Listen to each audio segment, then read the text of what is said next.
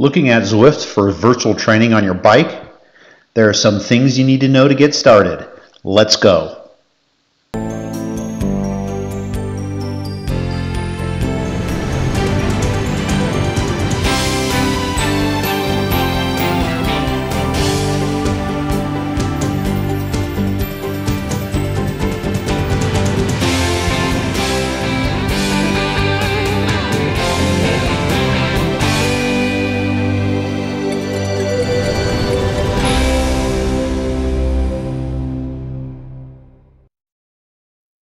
Okay, what's Zwift? It's a software application that you can run on a PC, Mac, Apple devices such as Apple TV, iOS, such as iPad and iPhone, and hopefully at one point a release on Android operating systems.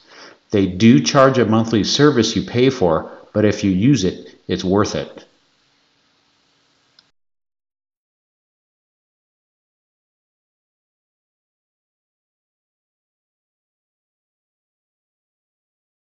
With Zwift, you need to have a smart trainer. Smart trainers need to plug into the wall because they need power to connect to your computer or Apple device wirelessly. There are several good smart trainers out there. I've been using the Wahoo Kickr and I'm hooked, but there are a bunch of other brands. Do your homework for the one that's right for you.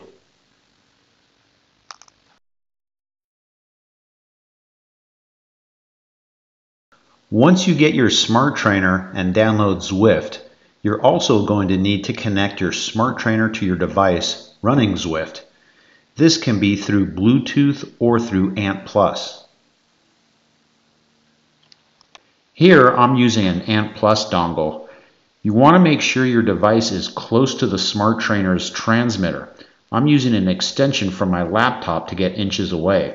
If you don't get close enough, you might see dropouts which means you'll be pedaling, but the software won't see it, and your avatar will be relaxing on the side of the road while you're working on your bike. You'll also need a cadence sensor.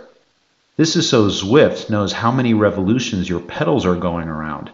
You will actually see your avatar slow down or speed up his pedaling, and the software will give a readout.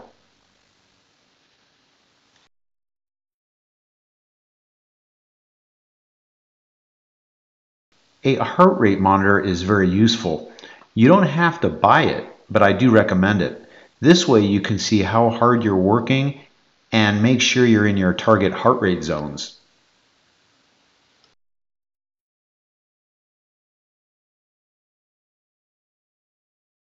As you ride more and more, you might need a padded seat.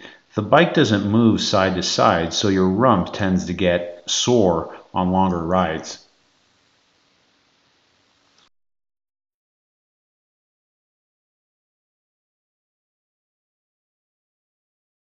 I recommend putting a towel or a mat under your bike because you are going to sweat, and I mean sweat a lot. It's also good to have a sweat towel so you can wipe your face and cover your bars from getting soaked.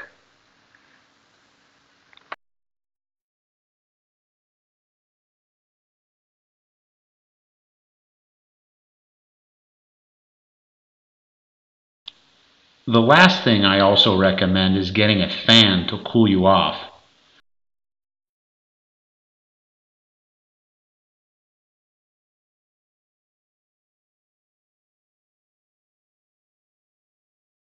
Oh yeah, and don't forget your water bottle and fill it up. This will make the ride a little more comfortable.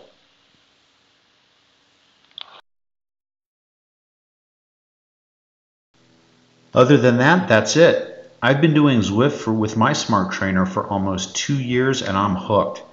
There's plenty of workout programs, joint rides, and races with others around the world. I hope this helps with the basics needed to get started with Zwift. Please subscribe and give me a like, and I just might see you on those Zwift virtual roads.